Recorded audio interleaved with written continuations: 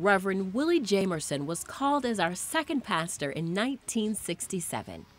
The civil rights movement was at its peak. Sadly, within a year, Dr. Martin Luther King Jr. was assassinated.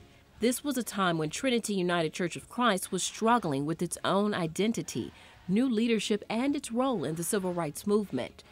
There was the hope for integration and the need to embrace the black religious and cultural heritage that was not always readily available. Particularly due to these conflicts, the membership dropped from 400 to under 100 people. Though Jamerson was an activist who tried to move the church forward, it was a difficult time. In 1971, Jamerson stepped down as our pastor, and Reuben A. Sheares II became Trinity's interim pastor